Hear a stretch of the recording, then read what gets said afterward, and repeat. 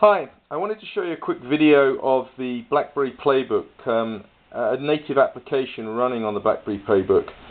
This is a, an ArcGIS mapping application. It's based on the current API, uh, Flex slash Air API for ArcGIS.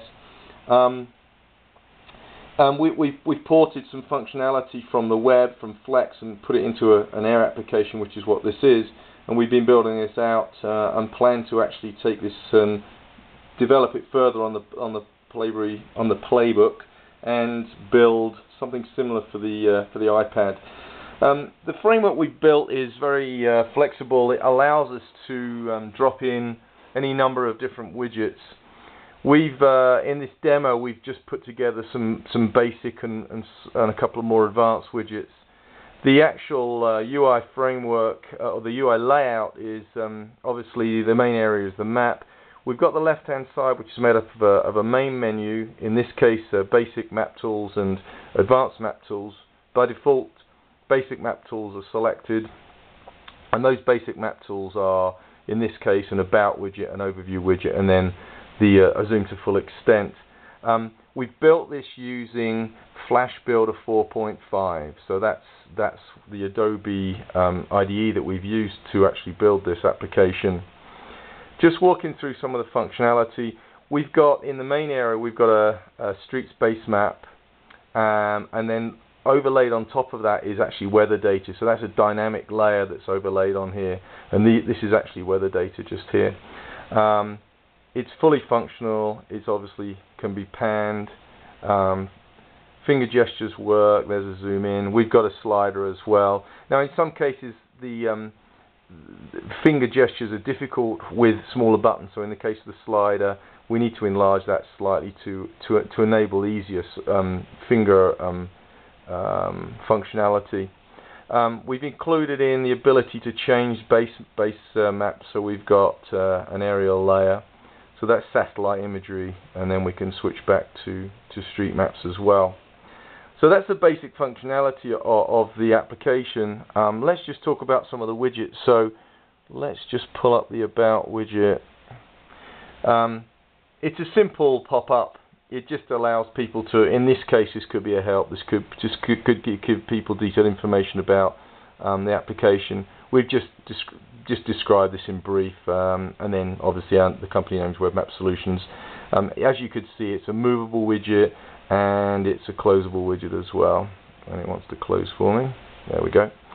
Um, the next widget is an overview widget. So let's just pull that one up. And as you can see it just uh, the red triangle there indicates the area of the country we're looking at in the main in the main uh, screen. Um, again it's a widget that can be moved around. And by moving the actual red rectangle it actually pans the main map. So that's uh, that's really nice functionality.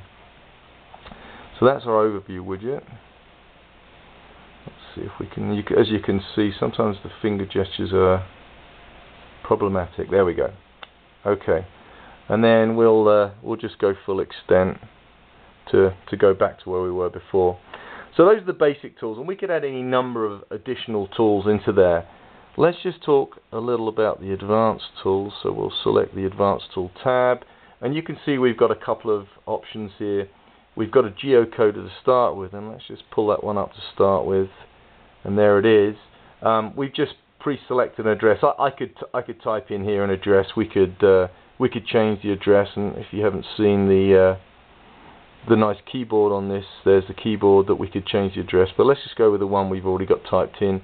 Um, it's in it's in South Bay, so we'll we'll hit the uh, find address, and there we go. It's actually using Bing to do the geocoding. So we found an address, and let's just uh, move out. Let's move out of the way. So there's there's the actual point that it's come up with. Um, we'll probably add a, a minimize on this uh, pop-up as well, but there's the there's the actual address that it's come up with in in South Bay, and it's actually listed it. Um, in here as well that it's found it. And we could we could do any number of other address uh, geocoding address searches with that. Let's just close that. Do it for me. There we go. So the last one is a draw tool. Um, a little bit more complicated. Uh, it takes a second to come up.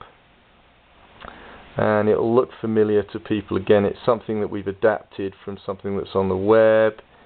Um, let's do a couple of things with this. Let's add a point to the map. There we go. So it enlarges and it gives you various options to to change what you're going to draw on the map. So there's a style so we could make a circle or, or, or any other different styles. We can change the opacity we can change the width. We can actually change the color of the the marker or the point on the map the size of it the outline color as well. And we can show measurements. Let me see if this is going to cooperate with me sometimes this is this button's actually too small so we're going to need to enlarge that. Come on then there we go.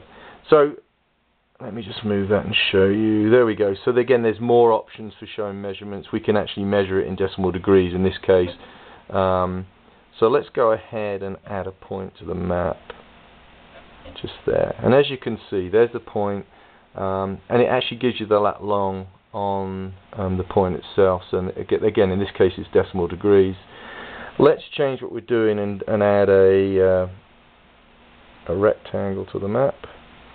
There's a rectangle. Again you can see that the options have changed. The lower options have changed as well the distance and the units. And I'm not going to pull it up because I wanted to actually have some room to draw it. Um, there it is.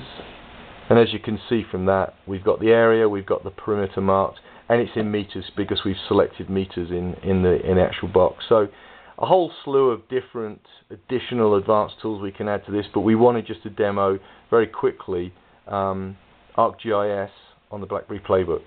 Thanks for watching